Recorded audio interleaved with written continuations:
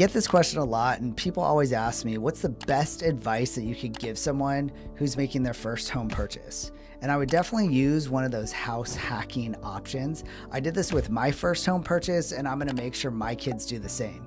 And it doesn't work with everyone's area or situation, but check this out.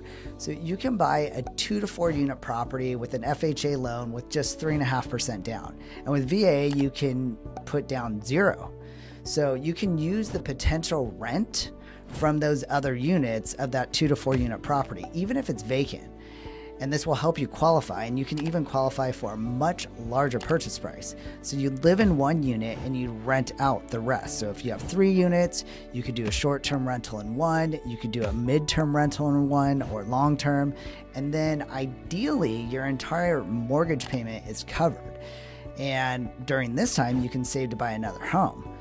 I know a lot of people even use that one unit that they're renting in and they rent out the other rooms to roommates. So now they're really able to save a lot of money and have a lot of cash flow and get ready for that next home purchase because you can do this every 12 months.